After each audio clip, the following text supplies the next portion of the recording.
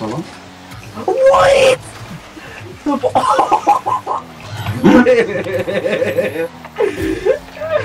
you stole him! Oh shit, yeah, you lost. that looks so much funnier from my point of view. You need to see that from my point of view. Yeah.